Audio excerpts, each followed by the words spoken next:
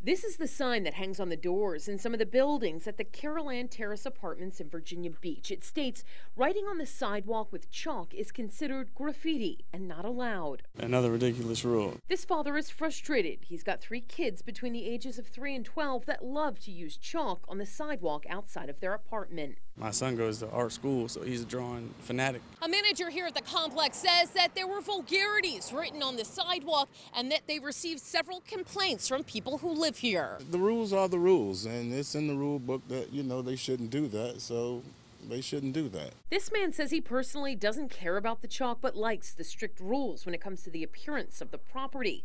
The manager says they have guidelines about items on the balconies, the blinds must be white, and rules about trash. As you can see, the grounds are well taken care of. I feel that we're treated great here. Others think the ban on chalk is ridiculous. It's just too just too much. Several parents are upset by the signs and the ban. The rule book it makes no sense. I'm aggravated. The manager said some of the writings on the sidewalk were hard to get off. She says she can't have vulgarities written on the ground, but declined to show News 3 pictures of what was reportedly the problem.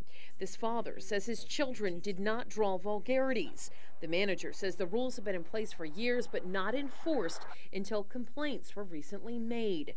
So for now, the chalk is a no go around here, and parents could face a $20 fine if their kids break the rules. In Virginia Beach, I'm Margaret Kavanaugh, News 3.